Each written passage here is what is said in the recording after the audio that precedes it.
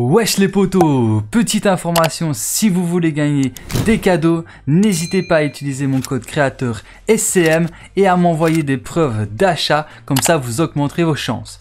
Et sur ce, je vous souhaite à tous une bonne vidéo, let's go Wesh les potos Bienvenue sur ma chaîne YouTube, c'est soit Cool Mike et dans cette vidéo, je vais vous aider à réaliser le défi qui est de mettre le feu à un adversaire avec un bocal de luciole. Alors tout d'abord pour vous aider je vous affiche une map avec tous les emplacements des bocals à lucioles que vous allez pouvoir trouver sur la map de Fortnite saison 8.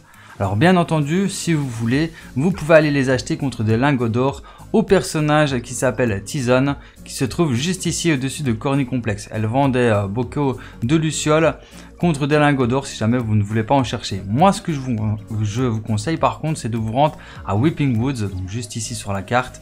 Vous allez voir qu'il y a énormément, énormément de bocaux à Luciole que vous allez pouvoir récupérer. Donc regardez, hop, j'appuie sur carré pour récupérer un maximum de bocaux.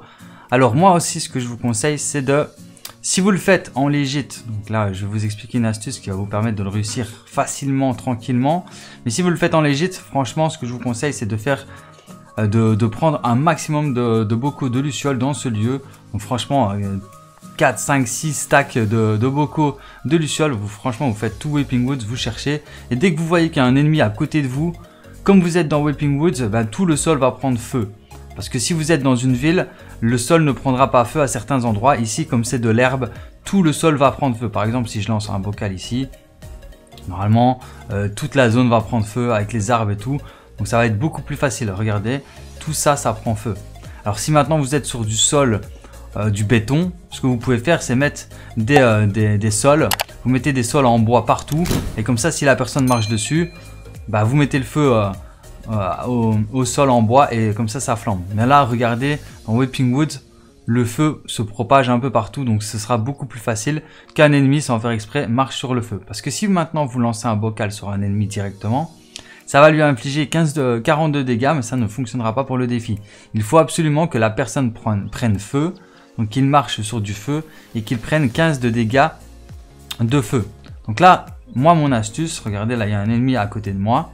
Mon astuce, c'est très simple. J'ai créé une partie uniquement contre des bots. Donc euh, déjà, ça tire de partout, wesh. Il est où? Il est dans le buisson, quoi. What the fuck? Ils sont tous invisibles, quoi.